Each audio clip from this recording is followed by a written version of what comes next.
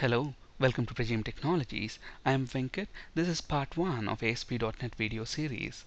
In this session, we'll understand what ASP.NET is, what a web application is, alternative technologies that can be used to build web applications, advantages of using web applications, and finally, how ASP.NET web applications actually work. So what's ASP.NET? ASP.NET is a web application framework developed by Microsoft to build dynamic data-driven web applications and web services. What are web services and how to actually build web services, we will worry about them in a later session. But for now, understand that ASP.NET is a framework you know that's used to build web applications and web services. In fact, ASP.NET is actually a subset of the wider .NET framework. Now, .NET Framework can be used to do a variety of things. For example, I can build different types of applications using .NET Framework. I can build console applications, web applications, Windows applications, Windows services, etc. So ASP.NET is a subset of that wider .NET framework that can actually be used to build web applications and web services. Now, if you're wondering what a framework is, a framework is nothing more than a collection of classes if we have to put it in simple terms. Now, we know that ASP.NET is a subset of the .NET framework that can be used to build web applications and web services. Now, along the same lines, we have something else called ADO.NET. Now, ADO.NET, is that a different technology altogether? No. Again, ADO.NET is a subset of the wider .NET framework that can actually be used to pull data from different databases and then serve it up to a console application or a web application or a Windows application, whatever. So any type of application that you build, if at all if you want to retrieve data from data sources and then use the data within your application, then you will use something called ADO.NET. Again, ADO.NET is not a different technology altogether. It is a subset of the .NET framework that can be used to pull data and then use that with your application. Along the same lines, ASP.NET is a subset of the .NET framework that can be used to build web applications and web services. Now, ASP.NET is introduced in the year 2002 with .NET Framework 1.0. Now, so were we using any of the Microsoft technology before the year 2002 to build web applications? Absolutely. So that technology is called as classic ASP, Active Server Pages. Now prior to .NET, prior to ASP.NET, we were using classic ASP. Okay, but then there are several advantages of using ASP.NET over classic ASP to build web applications, which we will be talking about in a later session. So what's a web application? A web application is an application that is accessed by users using a web browser. For example, you know, to search something on the internet, I fire up a browser and then I type in google.com. So google.com, for example, is a web application. Or I want to do some internet banking and I, I fire up a browser, I type in barclays.co.uk, meaning Barclays is a web application there. So any application that is typically accessed by using a web browser is called as a web application. And examples of browsers include Internet Explorer from Microsoft, Chrome from Google, Firefox from Mozilla, Safari from Apple, Navigator from Netscape. So is ASP.NET the only technology available to build web applications? No, there are alternative technologies as well, which of you know some of them include PHP, Java, CGI, Ruby on Rails, Perl, and there are many others as well which we have not listed here. So what are the advantages of using web applications over traditional desktop applications? Now, if you're looking for examples of desktop applications, Microsoft Office is a classic example. So what are the advantages of using web applications over these desktop applications? Now the first advantage is web applications just need to be installed only on the web server whereas desktop applications need to be installed on every computer where you want to access them.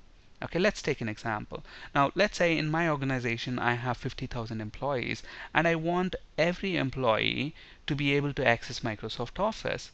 If that's the case, then I will have to have this Microsoft Office installed on each and every computer. So 50,000 computers. Just imagine how much time and effort is it going to take to install a software on 50,000 computers. But whereas if it's a web application you don't have to install that on all the 50,000 computers. All you do is install that on a web server. And then how will your users access that application? Fire up the browser and then type in the URL of the application. And you are able to access that application there. So similarly, I mean, if you want to access Google web application, you don't have to literally install that application on your machine. On, on a client machine, all you need is a browser that can understand HTML. As long as you have that browser, you can access that web application.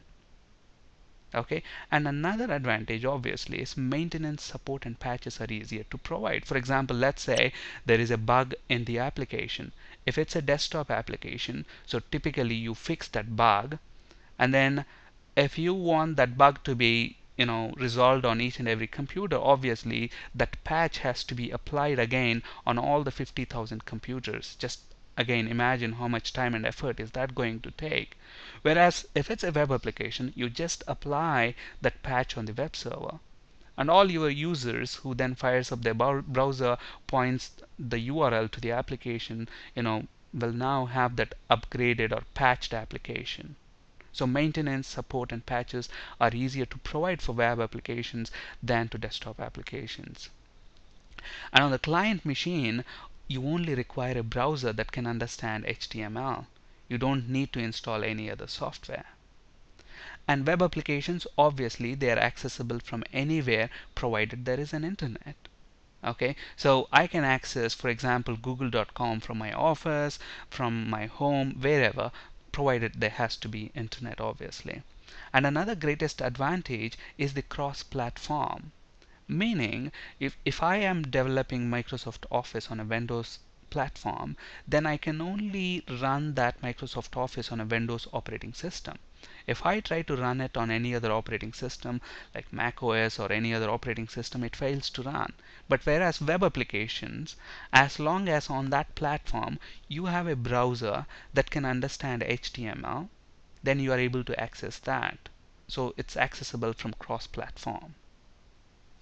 Alright, now let us see you know what is the architecture of a web application and how actually web applications work. Now, if you look at the diagram here, we have different clients, users, and then I have a server here which has the web application.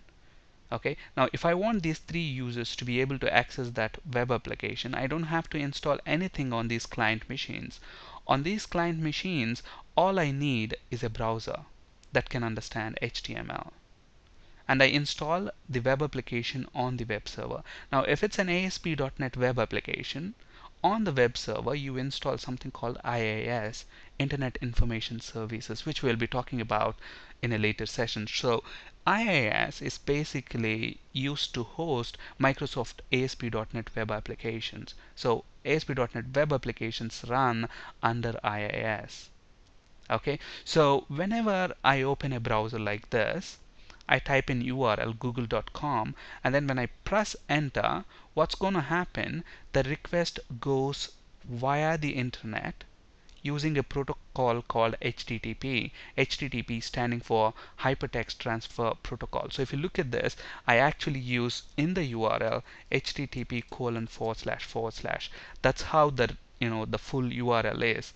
Okay http colon forward slash forward slash world wide web www dot the name of the application you know the URL google.com so what's going to happen? We are using this HTTP protocol HTTP standing for hypertext transfer protocol. Now if you're wondering what a protocol is a protocol is nothing but a set of standard rules that you know describe how two or more items communicate over the internet.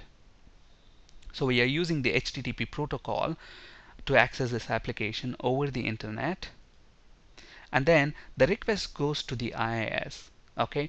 IIS will then you know process the request. It will do whatever it has to do. If it has to go and retrieve you know uh, the data from a database IIS will hand over that request to the web application DLL if you're not sure what a web application DLL is don't worry about that. We'll be looking about you know into that in a great detail in a later session. And then the web application goes to the web uh, you know database server retrieves the data processes the request and then generates the HTML gives it back to the IIS IIS will then return that back to the client who actually requested that page. Okay so basically if you look at this web applications use a client server architecture. On the client all you need is a browser. On the server you install web application you know web applications are hosted using IIS okay? And then when you make a request you make that using a browser using the protocol HTTP that gets transmitted across the internet to the web server which receives the request hands the request over to the web application which will process the request generate the HTML and then gives it back to the IIS IIS will then return that HTML back to the client who initially requested that. And we know that a browser can understand HTML the browser will interpret that HTML you know and shows that to the user. Keep in mind we know that we can use different technologies to build web applications okay? PHP Java CGI etc but remember a browser that a user is using to access the web application can only understand HTML now I don't care what your web application is doing or which technology you have used to build that web application. At the end of the day, the web application has to emit HTML that can be understood by the browser. Okay, so when that HTML is received by the client browser, you know, the browser can interpret that HTML and displays that to, the user. On this slide, you can find resources for ASP.NET C Sharp and SQL Server interview questions. That's it for today. Thank you for listening. Have a great day.